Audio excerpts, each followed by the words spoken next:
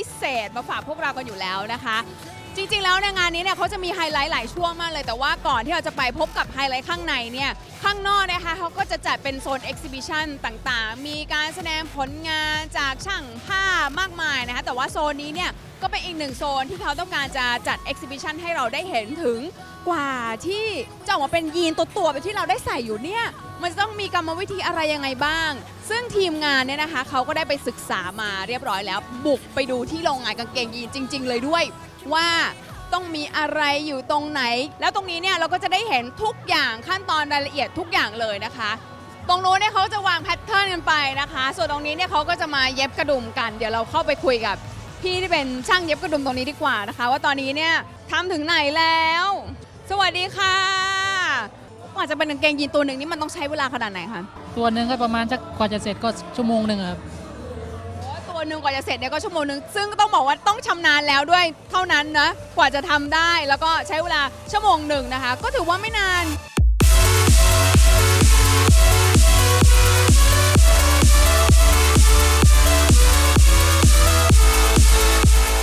อ่าก็ได้เห็นกันแล้วนะคะว่ากว่าจะมาเป็นกางเกงยีนตัวหนึงที่เราใส่ใส่กันเนี่ย มันต้องมีขั้นตอนยังไงบ้างคร่าวๆหลักๆนะคะอะเดี๋ยวตอนนี้เดี๋ยวจะพาไปดูอีกหนึ่งโซนที่เขาเอามาโชว์ให้เราได้ชมกันก่อนที่จะเข้าไปดูข้างในงานกันนะคะงั้นเดี๋ยวตามเก็บมาดีกว่า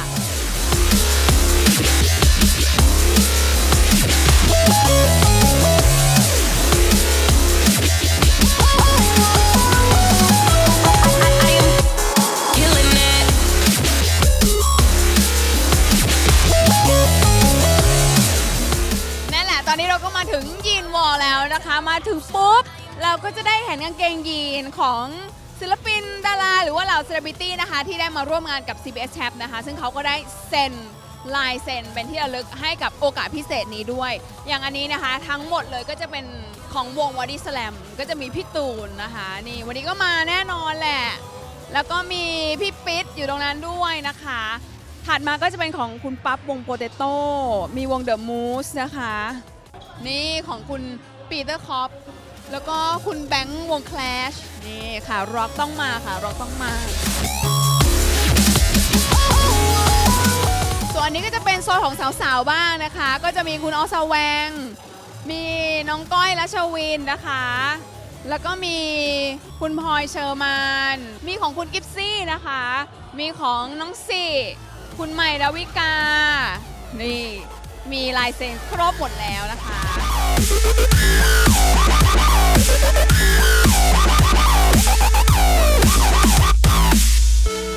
และสำหรับใครนะคะที่ไม่อยากใส่ของซ้ำกับคนอื่นเยอะแยะมากมาย ก็จะต้องเหมาะกับอะไรที่เป็นแบบ limited edition นะคะ ซึ่งงานนี้ค่ะ ครบรอบ 35 ปีของ CBS Chap นะคะเขาก็มีกางเกงยีนที่ออกมา แล้วก็ทำเป็นรุ่น limited edition ของผู้ชาย 35 ตัว ของผู้หญิง 35 ตัวนะคะ ซึ่งอย่างที่บอกไปนะคะว่ากางเกงยีน CBS Chap เนี่ย คือเป็นแบรนด์ที่มีตั้งแต่ปี 80 แล้วนะคะ เพราะฉะนั้นความพิเศษของรุ่นนี้นะคะ ก็จะมีนี่ค่ะบ่งบอกถึงปีที่เกิดนะคะ ปี 1980 นี่ แล้วก็มีความเป็นร็อกด้วยแบบอะไรที่มันขาดขาดไม่ได้เนียบมาก แล้วก็มีแบบสัญลักษณ์เป็นแบบปิกกีตาร์นะคะ ทีนี้เนี่ยประเด็นคือถ้าเกิดว่าหมดแล้วก็จะหมดเลย และอีกหนึ่งความพิเศษเลยก็คือเนี่ยเขาจะมีบอกเอาไว้ว่าเนี่ยคือตัวที่ 19 นะ จากทั้งหมด 35 ตัว รอยากได้ก็ต้องมาซื้อตรงนี้นะคะ ตอนนี้ก็ยังพอเหลืออยู่ ไซส์ที่ใหญ่สุดนะคะก็คือ L 28เล็กสุดก็ L 24นะคะ ผู้ชายผู้หญิงก็อยู่ตรงนี้หมดแล้วนะคะ เดี๋ยวถามนิดนึงดีกว่าว่าตอนนี้เป็นยังไงคะ เหลือกี่ตัวแล้วอะตอนนี้เหลือประมาณ 67 ตัวครับอ่าก็ทยอยทยอย มีใครมาแบบมาแอบจองมาอะไรอย่างงี้บ้างยัง ตอนนี้ยังเลยครับ มีมีดูเรื่อยๆ ไม่รับจองลิมิเต็ดจำนวนจำกัดด้วยครับ ตอนนี้อยู่ที่ 5,990 บาทครับเท่ากันครับผม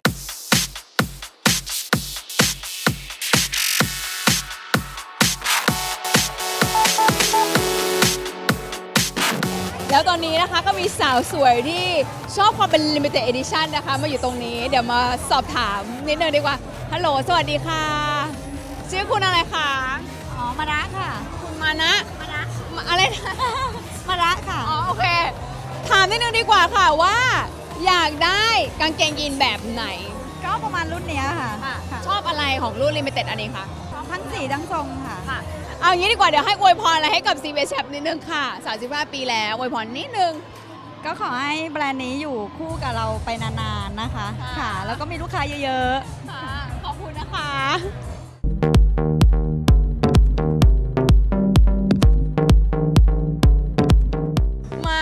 อเซเลบของเรานะคะ สวัสดีค่ะ เป็นยังไงบ้างคะสำหรับบรรยากาศงานในวันนี้มาถึงแล้วรู้สึกไงบ้างคะผมก็ต้องรู้สึกว่าบรรยากาศวันนี้แบบอบอวลไปด้วยก็เรียกว่ากลิ่นหอมของกางเกงจีนส์แล้วก็กลิ่นหอมของตำนานของแชปส์นะคะที่เป็นเป็นกางเกงยีนส์เออแบรนด์ไทยที่แบบโอ้โหเรียกว่าเป็นเป็นแบบเป็นแบรนด์ไทยแต่ว่าคุณภาพเนี่ยไม่ไม่แพ้กับแบรนด์กางเกงยีนดัง ๆ จากแบบอเมริกาหรือจากที่เป็นต้นกำเนิดของจีนส์ของโลกเลย แล้วชอบยีนทรงไหน ชอบใส่แบบไหนสไตล์ไหน จริง ๆ เราชอบจีนทรงวินเทจค่ะ เอวสูง แล้วก็ตอนนี้ก็เริ่มใส่ขาม้า แต่ว่าจีนที่จริง ๆ แล้วเนี่ยที่แบบอะเหมาะกับบ้านเราหรือว่าเหมาะกับแบบไลฟ์สไตล์จริงๆก็เป็นแบบจีนแบบที่ชัดเป็นเอกลักษณ์เลยก็คือเป็น skinny นะเพราะว่าทรง skinny เนี่ยใส่ยังไงมันก็สวย แล้วก็ดูทะมัดทะแมง แล้วก็ส่วนตัวเป็นคนแบบเป็นคนตัวเล็กนะคะเออก็จะชอบใส่ skinny ใส่กับบูทอะไรอย่างเงี้ยแล้วมันก็เป็นอะไรที่แบบเป็นคลาสสิกแล้วมันก็ mix and match กับกับเชิ้ตก็ได้กับเสื้อ ยืดได้หมดเลยอืม 35 ปีแล้ว CBS Chap อยู่กับคนไทยมา อยากจะให้อวยพรหรือว่าอยากจะบอกอะไรให้กับ CBS Chap ไหมคะ เราก็รู้จักแชปส์เป็นแบรนด์แรก ๆ เลย แล้วก็ใส่แล้วก็ติดตามมาตลอด ก็ขอให้แชปส์เนี่ยอยู่กับคนไทยอยู่กับแฟชั่นไทยตลอดไป แล้วก็ยิ่งเรียกว่ายิ่งพัฒนานะครับยิ่งเอ่อทำเอ่อนำเทรนด์แฟชั่นแบบที่มันเลิศล้ำอะไรต่างๆ ตลอดไปเลย ขอบคุณมากนะคะ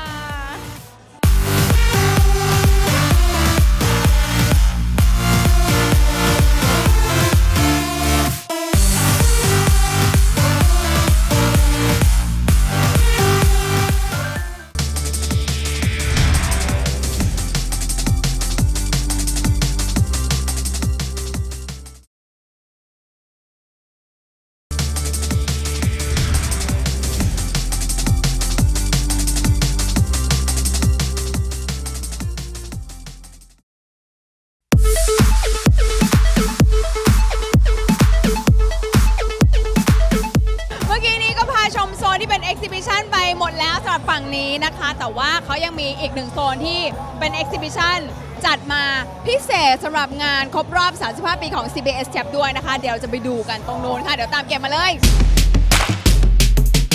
สวัสดีค่ะ ระหว่างทางเดินเดี๋ยวเราแวะคุยกับดีเจสุดฮอตของเรา พี่ตุลสวัสดีค่ะ พี่ตุลเพลงในวันนี้มีวิธีเลือกเพลงอะไรมาเปิดมิวให้อ๋อฟังก็เป็นสไตล์เราอยู่แล้วเป็นร็อกสไตล์ร็อกแอนด์โรลนะฮะ เพราะวันนี้ธีมเป็นร็อกแอนด์โรลก็วันนี้ก็เลยไม่มีปัญหาในการเลือกเพลงเพราะว่าฟังเพลงพวกนี้อยู่แล้ว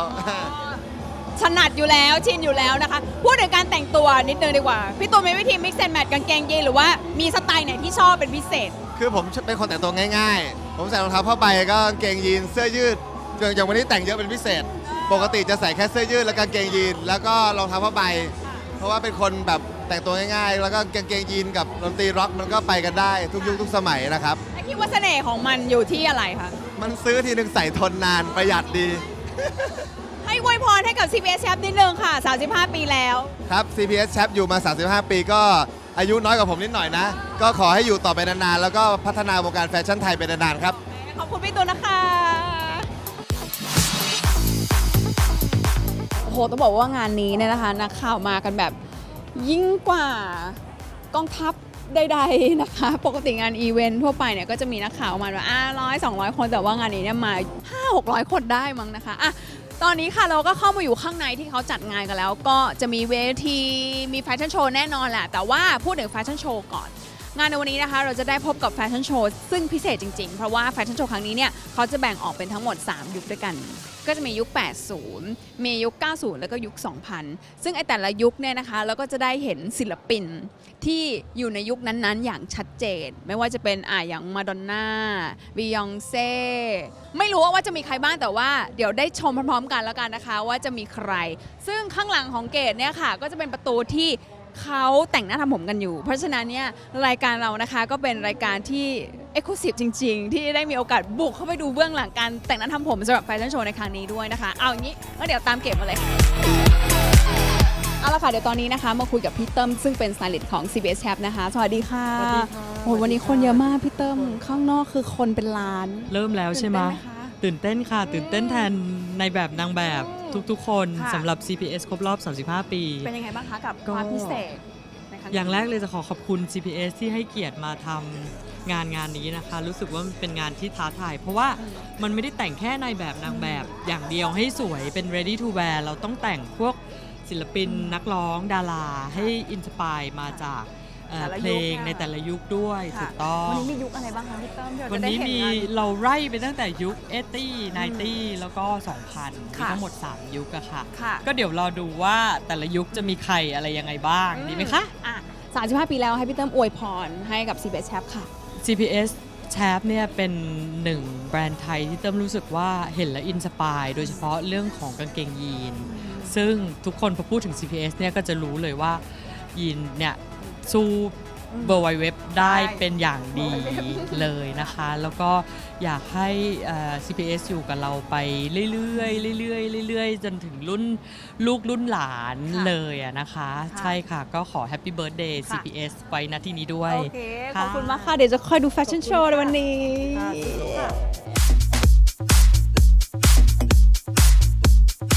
เอาละค่ะ แล้วตอนนี้นะคะ เรามาอยู่กับ fashion icon นางแบบตัวแม่ของเมืองไทยแล้วนะคะ คุณบีน้ำทิพย์สวัสดีค่ะกำลังเซ็ตผมอยู่นะคะ สวัสดีค่ะ วันนี้คุณบีน้ำทิพย์แต่งเป็นใครคะ เป็นบียอค่ะอืมยุค90 ค่ะ รู้สึกไงบ้างที่ได้มีโอกาสมาร่วมงานกับ CPS Chaps ครบรอบ 35 ปี ก็ดีใจมากค่ะ เพราะว่าจริงๆเราเราก็เหมือนเป็นแฟนคลับของ CPS มานานแล้วเหมือนกันนะคะ แล้วก็นี่ครบ 35 ปีก็ถือว่าโหโตเต็มที่เนาะอืมอะไรอย่างเงี้ยค่ะอยากจะให้เล่าให้ฟังถึงสไตล์การแต่งตัว เพราะว่าจริงๆแล้วเนี่ย CPS Chaps ก็ขึ้นชื่อเรื่องของกางเกงยีนเนาะอย่างบีเองมีทรงกางเกงยีนอะไรที่แบบชอบใส่เป็นประจำไหมคะจริงๆบีเอ่อเป็นแฟนของ CPS ก็คือกางเกงยีนเลยกางเกงยีนตัวแรกของบีเป็นของ CPS ใส่มาประมาณ 7-8 ปีได้แล้ว ทุกวันนี้ก็ยังใส่อยู่ค่ะอะไรอย่างเงี้ยค่ะรู้สึกว่าใส่แล้วรู้สึกสบายแล้วรู้สึกใช่แล้วก็ใส่ได้บ่อยอะค่ะอืมใส่ได้เรื่อยๆอืมใช่แล้วเขาจะมีไม่เอาแบบ detail ที่แบบเก๋ๆเป็นบล็อกๆอะไรอย่างเงี้ยประจำอยู่ ค่ะอวยพรให้กับ CPS Chap นิดนึงค่ะค่ะ ก็ครบรอบ 35 ปีนะคะ ก็ขอให้อยู่กับเราไปเรื่อยๆนะคะ แล้วก็ยังไงบีก็เป็นแฟนคลับคนหนึ่งอืมตัวยงเลยของ CPS ค่ะค่ะอืมขอบคุณนะคะ เดี๋ยวจะคอยดูหน้าเวทีเอาล่ะ ตอนนี้นะคะอยากจะบอกว่าเห็นแค่ข้างๆเนี่ยก็รู้เลยว่าเป็นใครนะคะ คุณบิยองเซ่ของเราวันนี้ สวัสดีค่ะ น้องสิเมื่อกี้นี้เอากางเกงยีนมาโชว์ด้วยใช่ปะใช่แล้วค่ะมีกางเกงยีนแล้วก็มีเซนลายเซนสี่อือืมม รู้สึกยังไงบ้างกับ CPS Chaps อยากจะให้เล่าถึงความประทับใจจริง ๆ แล้วเราผูกพันกันมานานนะคะ ตั้งแต่สีเริ่มเข้าวงการ 8 ปีที่แล้ว ก็เริ่มเดินให้ Chaps มาตั้งแต่ทุกปีอืมก็ผูกพันนะผูกพันมากแล้วเลยก็อะพูดถึงการแต่งตัวนิดนึงเพราะว่าจริงๆแล้วเนี่ยนางแบบทุกคนอะเนาะก็ต้องใส่กางเกงยีนใช่ค่ะต้อง skinny เนาะนั่งแบบก็ต้องใส่ skinny โชว์หุ่นโชว์ขาสวยค่ะแล้ววันนี้เป็นบิยองเซ่ตื่นเต้นไหมคะเจซีมาเชียร์หรือเปล่าเจซีไม่มา ก็ตื่นเต้นนะคะ เพราะปกติ เราก็ไม่ใช่คนเต้นเก่งเนาะแล้วบิยอนเซ่เต้นเก่งมากอืมนี่ก็นั่งดูแบบ YouTube ดู reference เพื่อที่จะเป็นบิยอนเซ่ให้ได้เหมือนเขาที่สุดแสดงนะคะว่าวันนี้ต้องมีแบบอะไรพิเศษพิเศษมาฝากบนเวทีนิดนึงนิดนึงอ๋อเดี๋ยวค่ะต้องเชียร์เดี๋ยวต้องเชียร์อะเดี๋ยวให้อวยพรอะไรนิดนึงให้กับ CBS Chap ค่ะ ค่ะก็แชปส์นะคะก็สีมีโอกาสได้ทำงานกับแชปส์ มานานมากแล้วก็ขอให้ขายดีๆ อย่างนี้ตลอดไปคือจริงๆ เรื่องขายดีคงไม่ต้องอวยพรอยู่แล้วนะคะเพราะขายดีมากอยู่แล้วตั้งแต่เด็กๆสีก็เป็นลูกค้าประจำของแชปส์อยู่แล้วนะคะ ก็เอาเป็นว่าขอให้ขายดีๆรวยๆ แล้วก็จ้างสีบ่อยๆ แล้วกันนะคะ ขอบคุณนะคะเอาล่ะตอนนี้เดี๋ยวเรามาคุยกับอีกหนึ่งสาวที่เป็นแฟนของ CBS Chap นะคะน้องพลอยสวัสดีค่ะสวัสดีค่ะเป็นสาวที่แต่งตัวได้เท่แล้วก็มี character ตลอดเวลาเลยอยากจะให้แชร์ tips ดีๆในการ mix and match โดยเฉพาะกางเกงยีน คือแต่ละคนก็จะรู้รูปร่างของตัวเองใช่ไหมคะ เราก็ต้องอย่างแรกเลยต้องรู้ว่าเราเป็นคนหุ่นแบบไหน ถ้าสมมติว่าเราเป็นคนขาใหญ่เราก็ไม่ควรใส่ฟิตมากเป็นแบบเออเป็นขาเดฟใช่ไหมเราก็จะดูขาใหญ่ไปหมดอะไรเงี้ยอาจจะเป็นขาตรงขึ้นมาหน่อยอะไรเงี้ยค่ะค่ะก็แล้วแต่อันนี้เป็นทิปง่ายๆค่ะ รู้หุ่นตัวเองแล้วจะรู้ว่าจะใส่กางเกงแบบไหนค่ะ35 ปีแล้ว CBS Chap ของเรารู้สึกยังไงบ้างคะมีความประทับใจอะไรที่อยากจะเล่าให้ฟังบ้าง รู้สึกว่าเฮ้ย 35 เหลือโตกว่าพลอยอีกนะอืมคืออยู่มานานมากจนกระทั่งแบบ คือพลอยจำได้เลยว่า เออตั้งแต่พลอยเป็นวัยรุ่นพลอยก็จะเริ่มเริ่มแบบเริ่มช้อปปิ้งเองได้อะไรอย่างเงี้ยค่ะ ก็จะมารู้จักแชปส์เพราะว่าเขาจะมีกางเกงยีนเขาจะมีเสื้อผ้าทุกอย่างค่ะที่เราเดินเข้าไปแล้วหัวจนเท้าออกมาได้เลยทีเดียวอะไรเงี้ยอ่าเพราะรู้สึกว่าเขาอยู่มานานมากแล้วก็เขาเป็นเหมือนแบบเอ่อ แบรนด์เสื้อผ้าที่ขะขลังอะค่ะอืมคืออยู่มานานจนทุกคนต้องแบบยกมือไหว้ให้ตลอดเออออะไรเงี้ย อยู่ได้ขนาดนี้คือเก่งมาก ค่ะ อวยพรนิดหนึ่งให้กับ CPS Chap 35 ขวบแล้ว 35 ขวบก็คือยังยังยังเป็นถืสาวอยู่ ยังเป็นสาวอยู่นะคะ มาขอให้เอ่อแก่กว่านี้ อายุยืนกว่านี้อีกด้วยได้ไหมคะ ขอสักร้อยปีละกัน โอเคโอเคขอบคุณนะคะ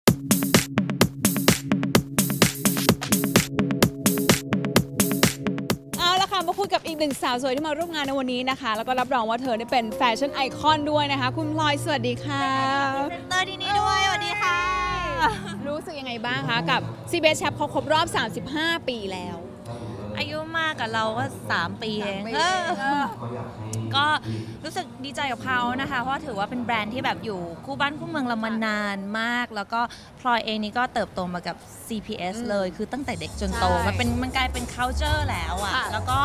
เออเป็นไปไม่ได้ที่ทุกคนจะไม่ใส่แชปจีนส์นะคะใช่แล้วก็แบบเท่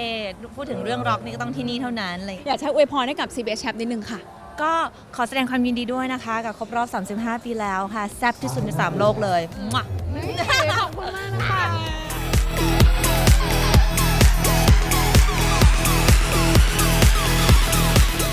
อีกหนึ่งสาวที่มีสไตล์มาก ๆ เลยนะคะคือคุณพิ ตต้า ณ พัทลุง สวัสดีค่ะ